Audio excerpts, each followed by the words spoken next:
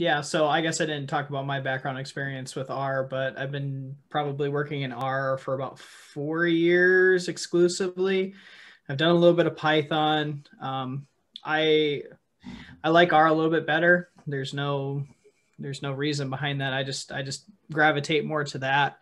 Um, but I have some experience working with Python a little bit, and then I've done some stuff in Bash, stuff like that. But I am not a computer scientist by any means, so I am still learning. Um, cool. So um, what we're going to do today is we're going to finish up our conversation of chapter 14 strings.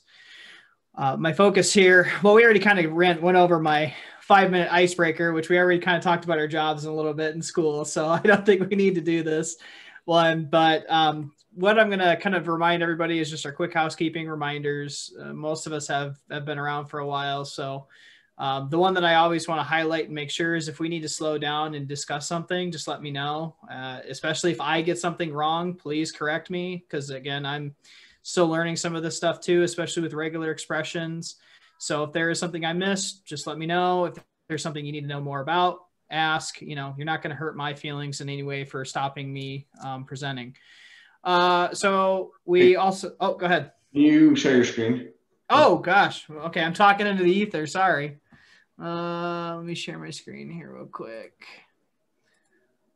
So thanks, Ryan, for stopping me and correcting me. no problem. okay. Um, yeah, so here's just our quick housekeeping reminders. So, um, yeah, so uh, the big things that I want to highlight is obviously stop me if you need to, and then you know plan on teaching some of the lessons. Uh, it's a good opportunity to kind of learn extra. Uh, Ryan, I think I have a couple more that I'm going to take on and let you know about, but anybody else in this group, please be welcome to take it. It kind of takes the load off of you know Ryan and and myself and anybody else who's been um, presenting. So think about teaching a lesson if you can. Even if you don't know much about it, it's a great way to learn even more. So take that opportunity if at all possible. Yeah, and the only thing I'll say about that is, excuse me, there are 30 chapters in the in the book. We are on chapter 14 right now, um, and then Collin has already claimed like three other chapters, and some of them are probably short chapters. So it might be safe to say that there's like maybe 10 topics, maybe not even that many, maybe like seven or eight top, like real topics to go into in the rest of the book. So you're running out of time. If you know, if you sit around on the weekend and you're thinking, man, I, I want to teach one of these lessons, but I just, I'm going to wait one more week. Your time is running out. All I can say. yeah, and and if somebody wants to take one of the chapters I've taken, I'm more than happy to give it up. But anyways, um, okay, cool. So uh, let's start off with well, here's tonight's discussion. We're going to finish chapter 13 strings. We're going to finish our discussion of regular expressions. We're going to dive into the stringr package, which is a package that is a core package to the tidyverse that gives a bunch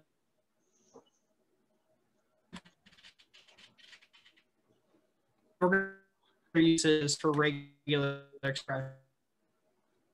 Bit of review. So what I'm going to do is I'm going to share a couple of examples here for everybody. And just like we've done before in the past, we're going to kind of do a little whiz. So we'll see if everybody can kind of um, kind of jump in here real quick. So can everybody see my screen and see my examples that I have here? Mm-hmm. Okay, cool. So we're gonna we're gonna use this vector called fruit. And so you've probably seen this vector before. We've we've used it. It was used for a couple of examples in the chapter. And so what I'm going to do is I'm going to share with you a regular expression. They're going to get harder as we go up in levels, but I want to see if somebody can explain. Well, I'll give you some multiple choice, but then maybe potentially explain what the regular expression actually is actually doing. So again, for this first couple of examples, we're going to use this fruit vector. And so um, what I'm going to do is I'm going to start with level number one. And think of this as just taking this vector, turning it into a data frame, and then I'm going to filter out for specific types of fruit based on this regular expression. So looking at this one right here, so this example level number one, does anybody want to tell me what would be returned from this list given this?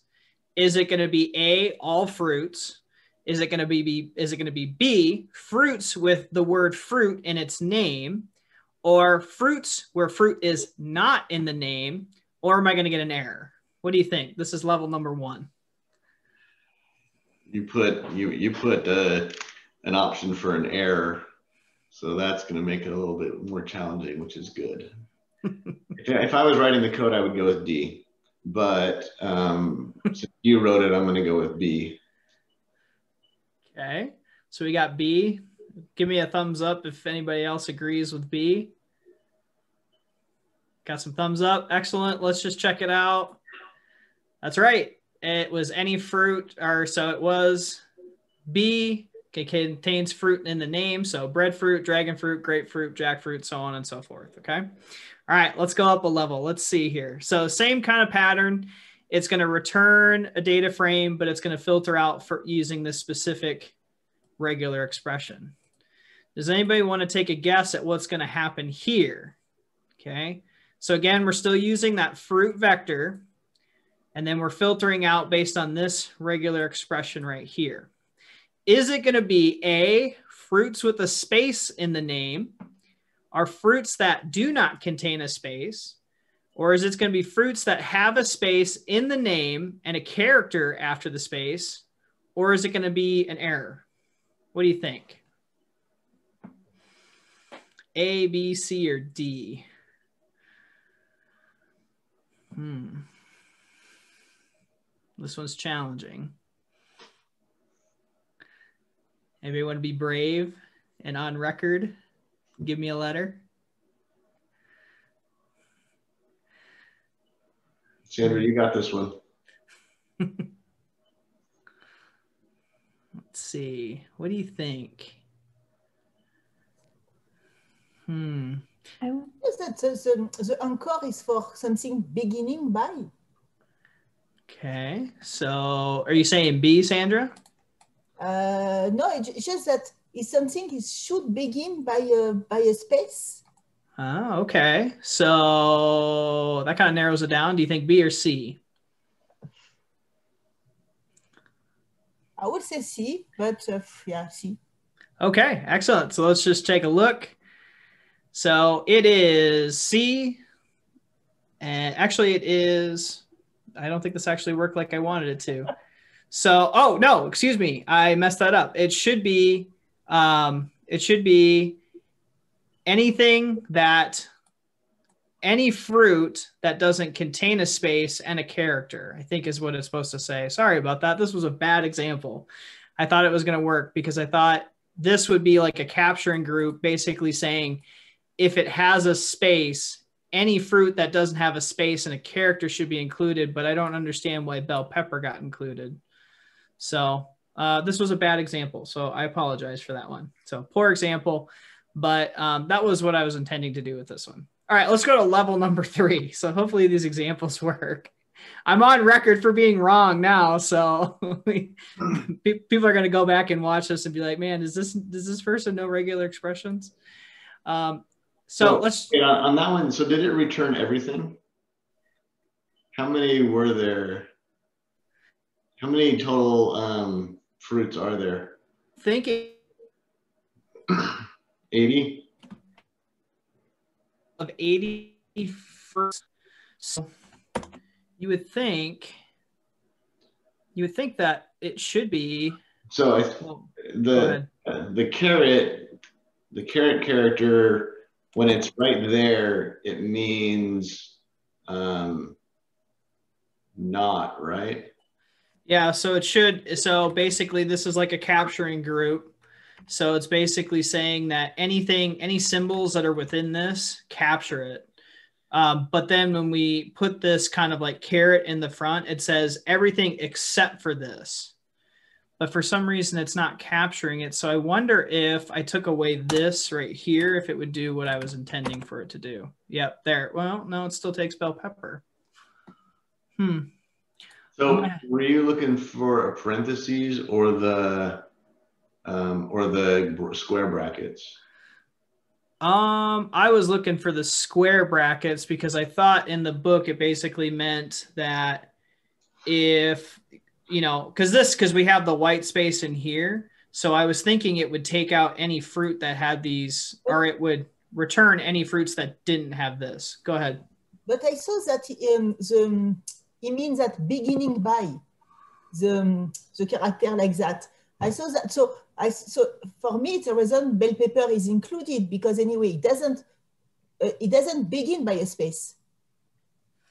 Oh, uh, maybe because I thought like if you did like caret like you know E or A or something like this, it would mean exclude everything that doesn't have like a vowel E and A. So maybe we can try to, to put a yeah okay. To, Let's but, see. But we don't have food beginning by EA. Maybe try to put uh, uh, AP. No, no it still no. returns it. Hmm. You still have a pearl. That's odd. I think what happens is that when you have the power sign, but you put the bracket, so when you have the power sign alone, then it means the beginning of a of a string.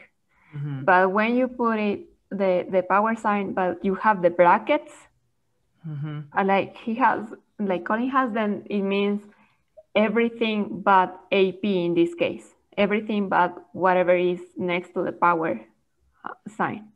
Mm-hmm. So in yeah, so inside the square brackets, I think it means not. Right. Anything but. I wonder if, if, if what's happening is that it's not recognizing that you are telling it you want the space. And so what if you try right there slash slash s? I think that's the, the symbol for space, I think. Yeah. Still, I'm still getting bell pepper, huh? I thought that the square bracket is not excluding, it's including everything which is starting with the space and yeah. But I, th- I thought that's what the caret does. It says everything except. No, it says everything starting with. Uh, okay. Okay. Well, maybe we'll have to dig into this example. So this was kind of a poor example. I kind of threw these kind of together quickly as a quick review. So um, maybe I'll kind of what I'll do is I'll kind of dig into this a little bit further.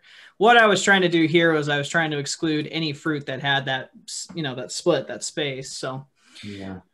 Um, so regular expressions are hard. Uh, what if you put uh, an exclamation mark before the, does that work here? So like the filter? Oh, no, I mean like. String detect? Yeah, probably. Let's see. Now it returns nothing. Oh, okay. Huh. Well, for the sake of time, I think we'll I think we'll we'll I'll revisit this and add something in the Slack. But yeah, that's for some reason that doesn't make sense why that's not working, but um, I'll dig into it a little bit more. All right, so let's go to this one here. Hopefully this one works. Does anybody want to take a guess at what's happening, what's going to happen here? Is it going to be, uh, what's going to be matched? Is it going to be all fruits? Is it going to be fruits with the word berry in its name? Is it going to be fruits where berry is not in the name? Or is an error going to be returned? What do you think?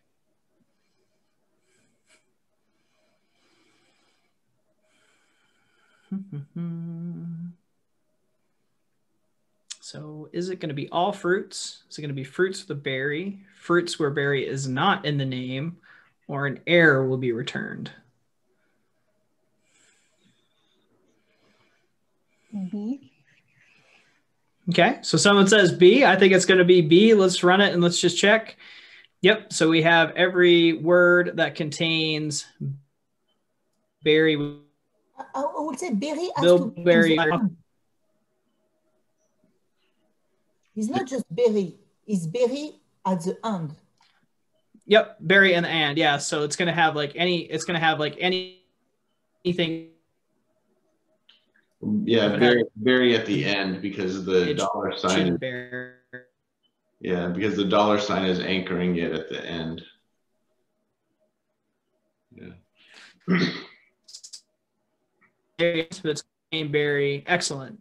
Let's go. To, let's just do one more here. Uh, let's go to number. Let's go to number five. Um, my favorite one. There's going to be. There's this data set called Star Wars in. So hopefully there's any Star Wars fans here. Uh, there's a data set called Star Wars in Tidyverse. And what I'm going to do is I'm going to take this vector of names here. And so here's all the names of the different characters in Star Wars.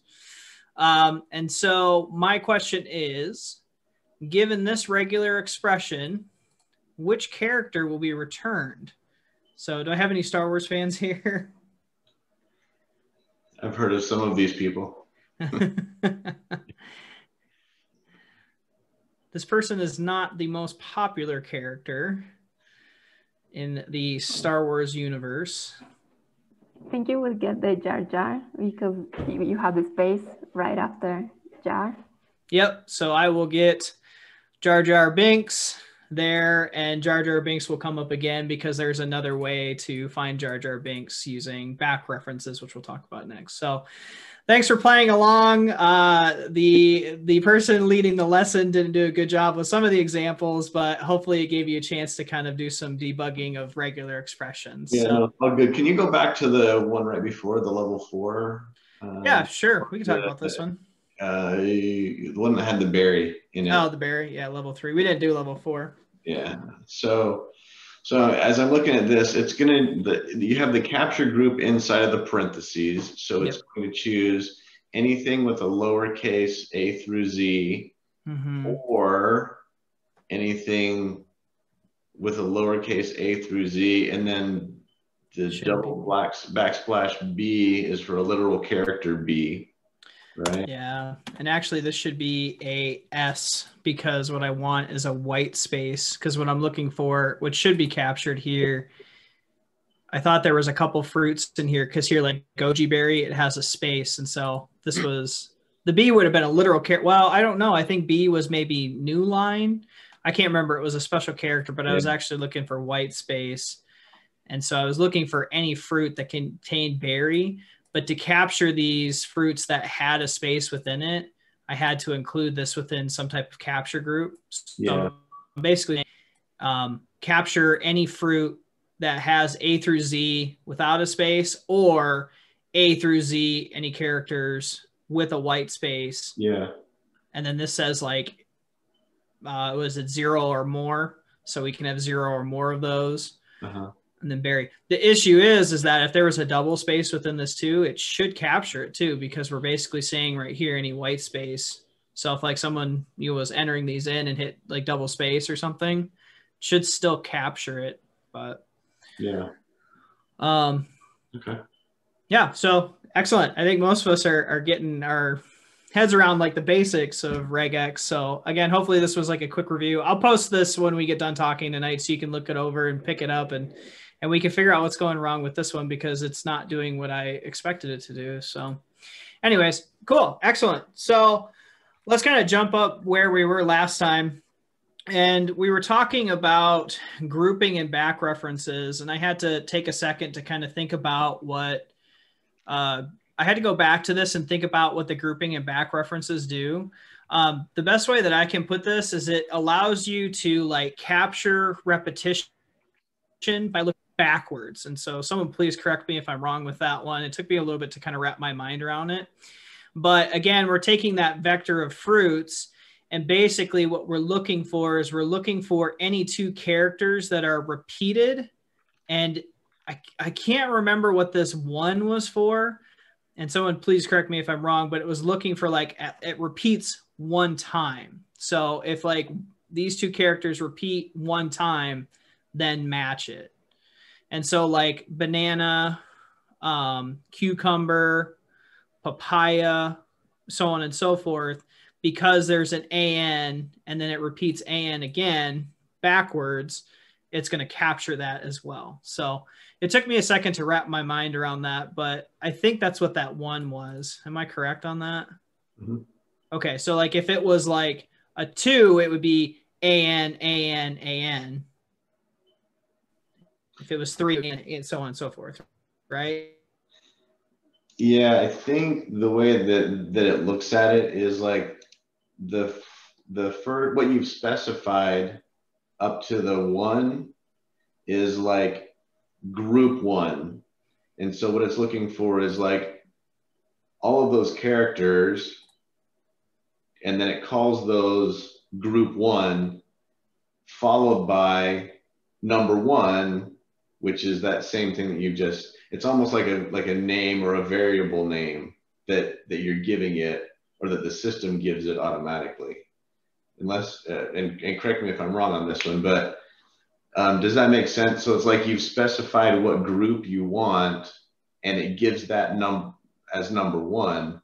And then you put the number one there afterwards saying, I want to find group number one again. And so if you oh. were to put another one after that, then it would be looking for A N A N A N C O C O C O. We should check that though. So I'm going to check it while we're while we're talking. Yeah, this like back references were like the ones that I had a little trouble understanding. Like I, I think I like understand it at like an intuitive level, but I couldn't like explain what the syntax was and what it actually means. So um, does anybody else have any any idea or other way to think of this?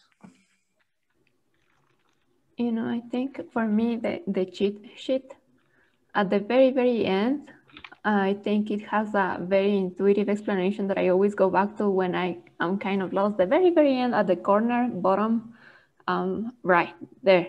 Hmm. So you see that the, the first group is A and the second group is B. Oh, okay. Okay. So the first group is A. Mm-hmm. Okay. And then the second group is B. So then if you call the second group, which is B, and then the first group, which is A, you get AB, and then B, A. Oh, okay. I see. It's like position. Oh, okay. I see what you're saying. So, okay, I think I see what you're saying. So it's like. Uh, so the first parentheses there. Like A first in this. Yeah. Go ahead. Yeah, yeah. The first parentheses there where it just has the A gets called number one. And then the parentheses with the B gets called number two. And then when it comes to the back reference, you're now looking for two, which is B, followed by one, which is A. Oh, okay. That that clears that up. Okay, that makes sense. Okay, that's that's that that that's doing mind tricks with me because that that's I see what I see how complicated that can get really quick. So, okay. Yeah. So this one I struggled with a little bit because I've never done any back referencing like that. So that kind of clears that up um, for sure. Uh, let's see. That's a quick quiz. So I thought of it like this. I thought about, I don't know if this is correct now with the explanation that people have provided, but I was thinking that you could maybe use it like this to pick up the name Jar Jar Binks. Correct me if I'm wrong. Like here's a duplicate Jar Jar with a space, Jar Jar with a space. Uh, right now, I'm not as confident in this one. Now, was this correct? Somebody who's a little more of an expert in this, could you could you confirm or or not confirm this? You may take some some fiddling around with it, but it it seems pretty close because here's the three characters, right? One, two, three, followed oh. by a white space. Yeah. Right. And so, and then we're counting that as group one. And so it repeats it twice. Yeah. So then it picks up the only name that is that has that, you know, that kind of pattern to it. So this is like where the the most complex version of regex got in the chapter, and I'm sure it probably gets a little bit more um, a little bit more. Regex definitely goes a lot further than this, but like this one, I just I I have trouble wrapping my mind around, and and this was what I came up with as an example to kind of figure it out. Um, but if anybody has any any other um, if anybody has any other examples that they could share or think of, please do because this back and back referencing I had a hard time wrapping my mind around. Um, okay, so that's regular expressions in a nutshell. Again, that's the very, very, very tip of the iceberg. Let's kind of talk about it in uh, in relation to like tidyverse tools. And so the book talks about the tools for string operations. And again, the book kind of highlights that that stringr uh, provides a set of tools for common operations on strings. And so some of the common operations that stringr has a function for is determine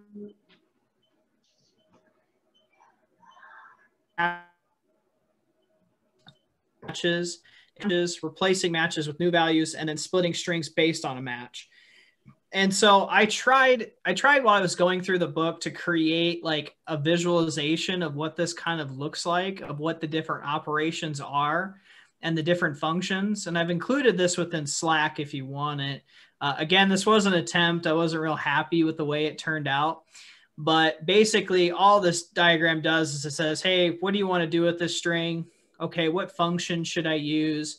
And then what example, you know, is there any examples that I can refer to?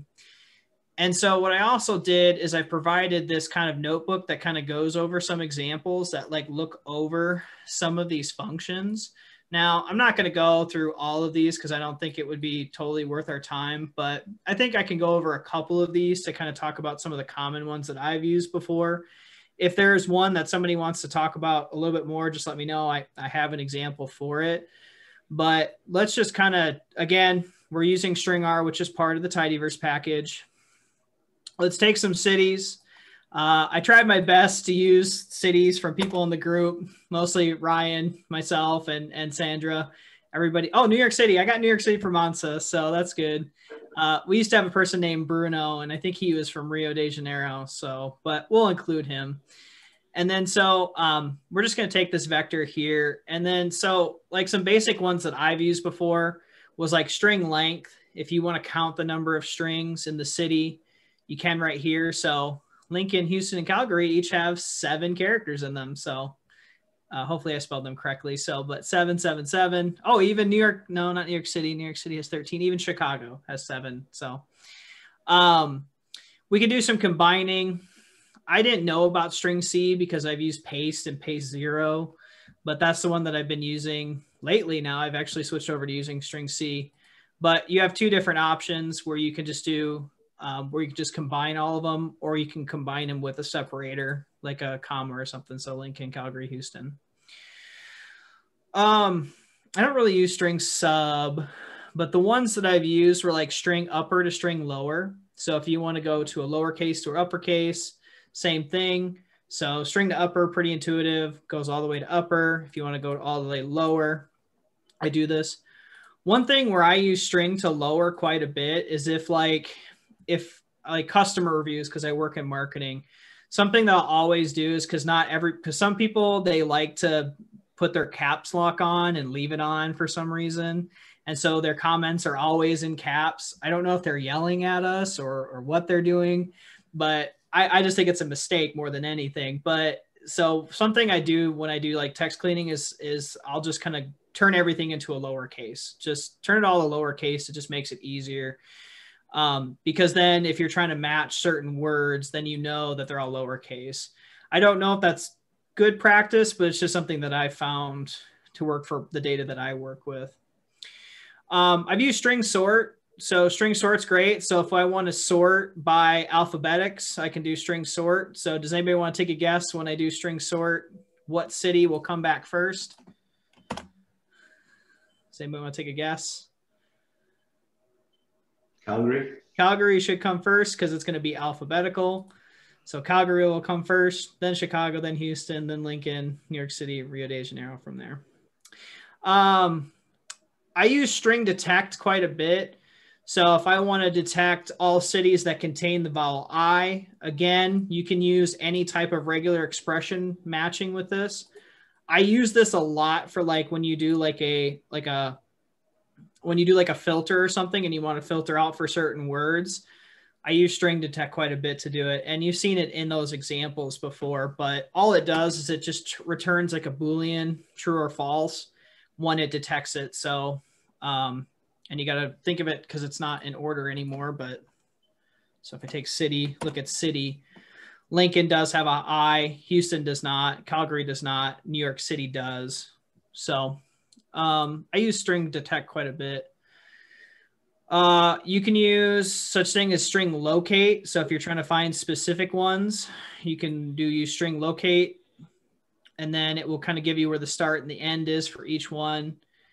And then the other one that I use quite a bit too is string extract. So if I want to take out all, all the lowercase vowels in the cities, I can use string extract. I can use, and the difference between the two with string extract is it's only going to take the first vowel. But if you want all the vowels, you need to use the string extract all. So this one will take the first. This one So you can see in oh, so on and so forth. I think this one was kind of hard for me to wrap my mind around when I first started to learn this because you think string extract, well, it should extract any vowel. No, it's only going to take the first one. So if you want all of them, you need to use the prefixed string extract all to get all the vowels to match. And then um, string replace, I've used quite a bit too. So if just say you want to replace every single vowel with the number nine, I don't know where or when you would want to do this, but just to kind of show an example, same thing. But with string replace, it's going to have also the string replace all. So string replace is only going to uh, change the first vowel. String replace all is going to change all, all the vowels. So you can see the difference between those two. And then there's split. Um, split's kind of nice if you want to split a certain thing. So if I want to split them by white space, so New York City, you can split them up into separate ones, so on and so forth. But that was just kind of a basic rundown of all the string functions. To be honest, if you have trouble remembering some of these functions, a good trick that I found is that if you're trying to find a string function, because there's a lot of them, just type str in your in your console and then it will pop up all the different string functions that are available to you. And it's kind of nice how the package how tidyverse how the tidyverse has designed the stringr package is that it will give you like a quick explanation of what each one does. So usually i find myself going through this and being like oh i, I remember that i want to do this string operation and i can go through and look through them all so uh, what questions or comments does anybody have about these common string operations or ones that you were looking for that maybe aren't available or, or just any general comments?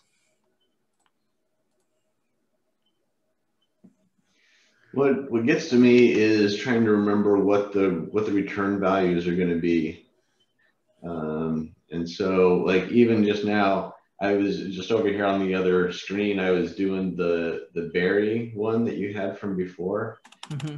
and because my question that I had in my mind was, um, you know, you had done the one where it was like find A through Z or A through Z with a space, and then with the word berry on the end. Mm-hmm. And my thought was, well, could you do it by just putting berry and not the A through Z and A through Z space. And so I tried that, but all it did was come back with the word berry. Every time that it said berry, the return was just the word berry. So it was like, it didn't have straw, it just said berry. And it didn't have black, it just said berry. And like, that's not really what I needed. I needed to know all of the different values that have berry in it. So anyway, so I think what would be hard and what would take a lot of practice is remembering like, no, if I only look for the word berry, it's just going to give me the word berry back. And so, and even with like the extract, I think it was extract returns true and false mm-hmm. or, um, and so trying to just remember what the return values are. Yeah. So that comes down to knowing the stringr the stringr package functions because they all have their own return value. Like you said, with string extract, if you did berry, it's just going to return like the actual letters B E R Y. It's not going to return like the full yeah. like thing. So that's where when like if you look at some of the examples that I've done in here, like I had to like turn them into a tibble and then do like the filter. So like uh not that so like these ones like i had to first take like the month name turn it into a tibble well that's mutate and string detect yeah this is the same thing but yeah. i've also done like a filter too where like you can filter it out uh, let me see if i can find an example of it yeah like this right here with the jar jar binks example i did the filter and then included the string detect because it's first uh, it's first looking, it's turning it into a logical, and then it's returning it based on, you know, that true or false based on this match or this regular expression. Yeah. So I, I see where the struggle comes in, like just knowing what function it is. I, I tried to simplify it here, you know, thinking about what are you trying to do yeah. and look at it and trying to go through this and be like, okay, well, if I want to like find the position or I want to extract a match. Yeah. Um, but in practice, like I said before, I usually find myself, I can't remember is is look at them and see if I can get it to work and, and figure it out from there. So, yeah. but in practice, that's what I usually do. Good question. Any anybody else?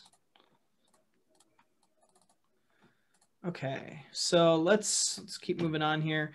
Um, so these are these are the, you know these are the tools and the operations. You know, I kind of shared some examples. I'm going to put the example. The examples are already on um, a thread within the actual Zoom link.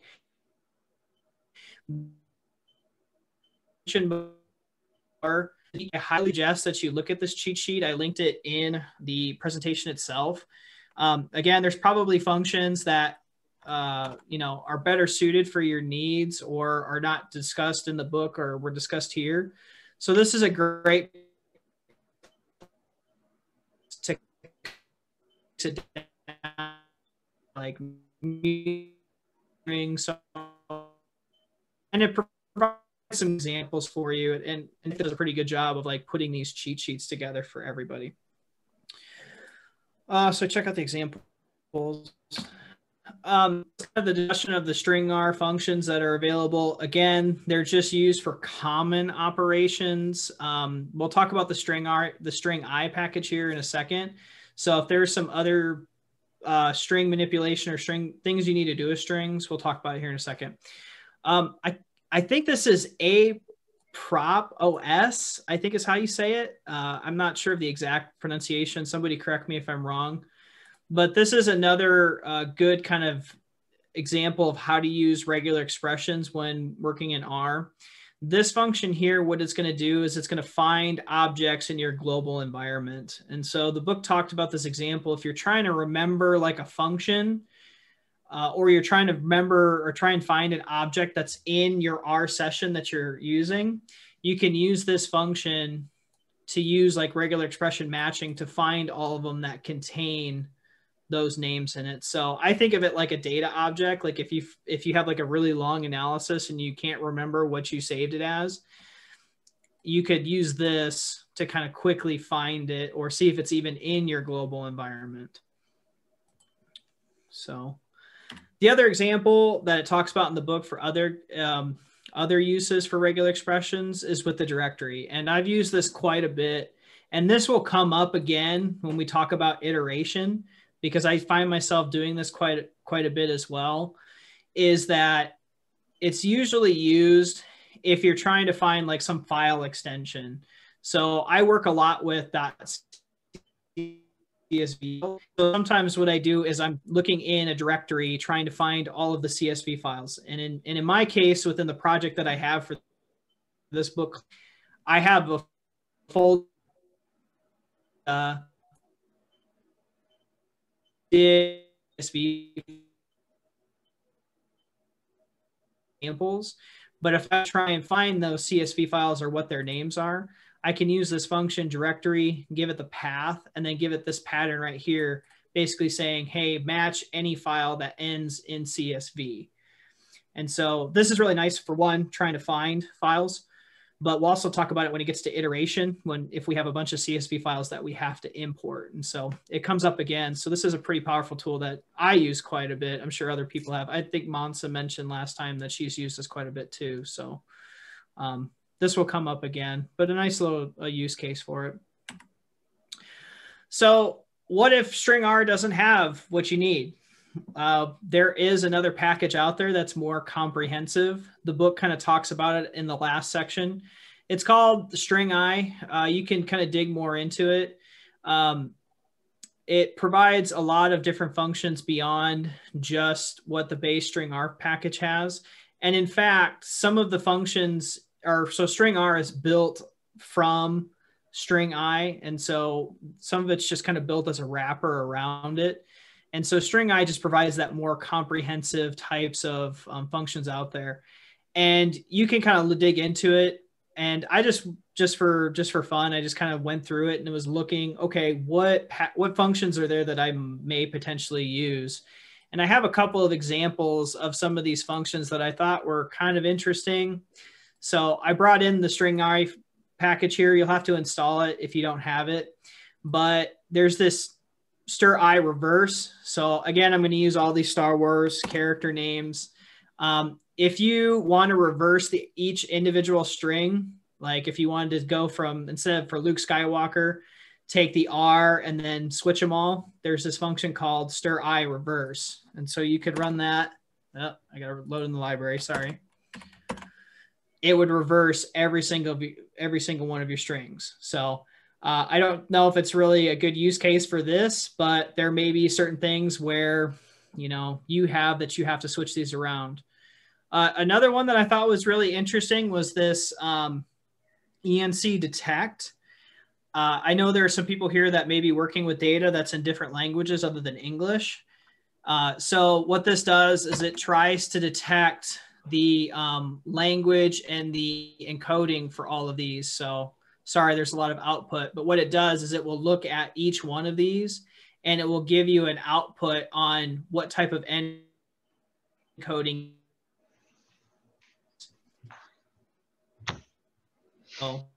Through and you can kind of see each name what it potentially is. And, and I thought that was kind of neat. So you might be able to figure out like with some of these names in Star Wars, what language was the base for that name. So I thought that was kind of interesting. The last one that I found, uh, this kind of string I stats general, this one could give you some just general stats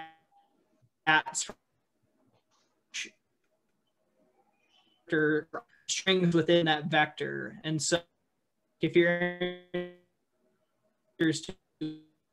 as well have someone. So, Collin, as I think they should know, yeah. Um, you were breaking up just a Did little. it cut off? Yeah, just a little bit on that last one. Do you um, do you mind going over that last one again? Stats general. Yeah, yeah, sure. Uh, sorry about that. My internet connection's been going in and out, so sorry about that but yeah, so like this one right here, I just thought was kind of interesting. It gives you some basic stats on all the characters uh, for each one of your string items within that vector. And so and it will give you like kind of summary too as well, like how many characters are in it, how many white white space characters are in there and stuff. So I don't know. I just kind of went through it. I just kind of went through stringi and was like, okay, are there any functions that aren't in stringr that are in stringi that might be useful? These are a couple, but I I encourage everybody to go look at it and see if there's other functions that you might find useful too. So again, it, I think the book talks about that because it's really saying stringr functions are for just have functions for common string operations. And so it's not the end all be all for everything strings. And if you're looking for something more robust, go look at stringi.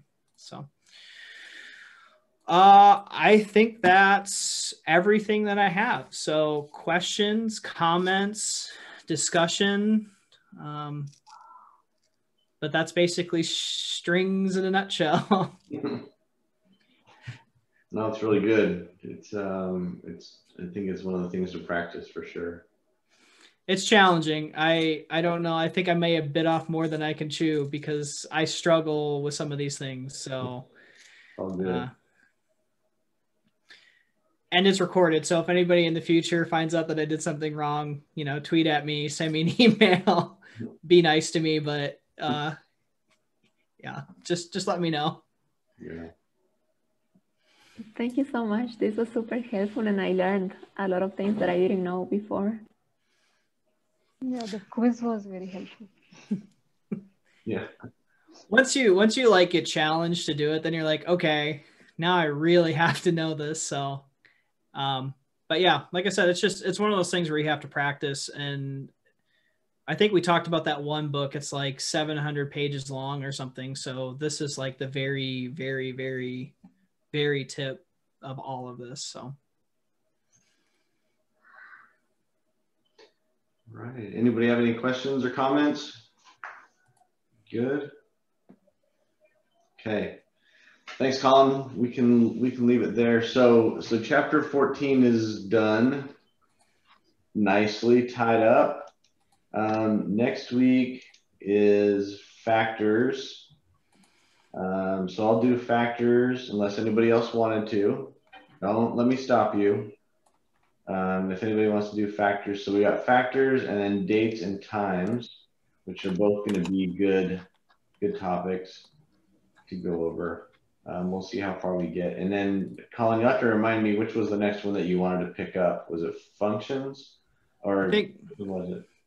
I think I said I would take functions and iteration, but People can anybody can jump in on those if they want. okay. Good.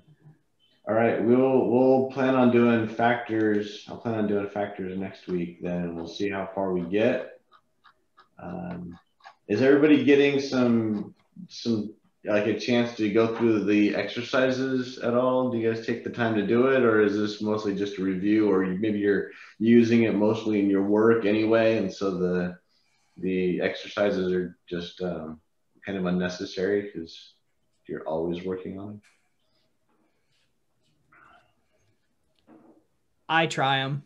Yeah. I try them. Uh, some of them, I some of them, if they take too much time, I'll probably be like, oh, I'll come back to it. But Yeah. Yeah. I learned a lot from the from doing the exercises.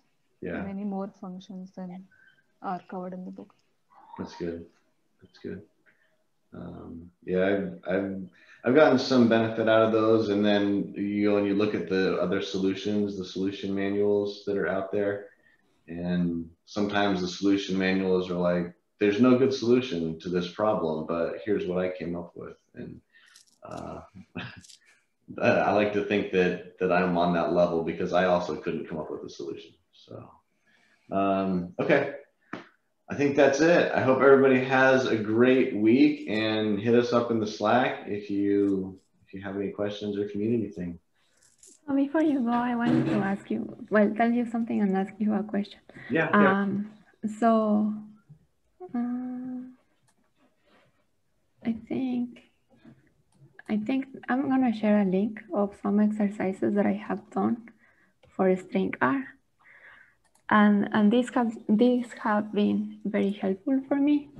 Uh, some of them they like they I think they go in progressive order. Yeah. So so they have been very helpful to me. So you might also find them um, helpful.